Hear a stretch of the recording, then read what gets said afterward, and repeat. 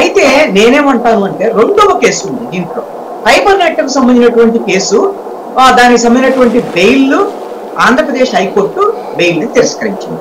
దాన్ని ఛాలెంజ్ చేశారు సుప్రీంకోర్టు దానికి సంబంధించినటువంటిది కూడా ఇప్పుడు హరీష్ చాల్వే ఆ కేసులో కూడా వాదనలు వినిపించడానికి ఓకే అన్నారు. రేపు ఉదయమే దాని మీద వాదనలు ఇక్కడ ఈ జరిగేటువంటి దాంట్లో రేపు బెంచ్ మీదకి వచ్చినటువంటి వెంటనే ఏదైతే స్కిల్ డెవలప్మెంట్ సంబంధించినటువంటి కేసులో తీర్పు అనౌన్స్ చేసేసి వాళ్ళు తీర్పు ఇచ్చేసేసి ఎస్ వాళ్ళ ఇష్టం వచ్చింది ఏమి ఇస్తే అది ఇస్తారు. సెవెంటీన్ ఏ వర్తిస్తుంది చంద్రబాబు నాయుడికి అనేటువంటి దాంట్లో ఉంటే రిలీఫ్ ఇస్తారు రిమైండ్ క్లాష్ చేస్తారు ఏం చేస్తారు అనేటువంటిది జరగదు.